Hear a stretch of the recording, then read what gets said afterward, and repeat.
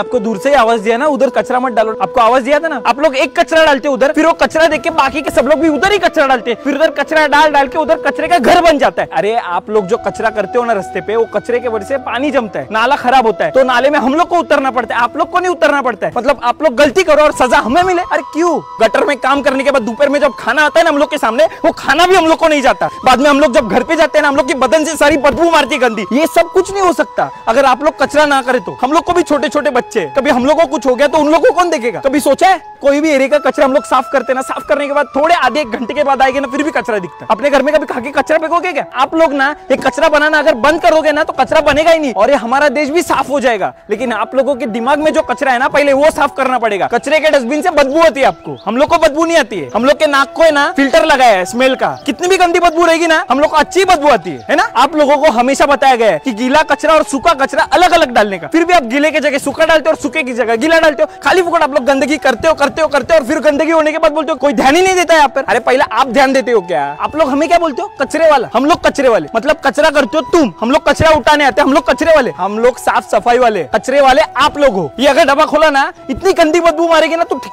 तू खड़ा भी नहीं रहेगा सामने। खोल के दिखाओ तेरे को। खोल के दिखा दो रुक, खोल के दिखा दो रुक ना, रुक। अरे रुक, खोल के दिखाता हूँ। कचरा करते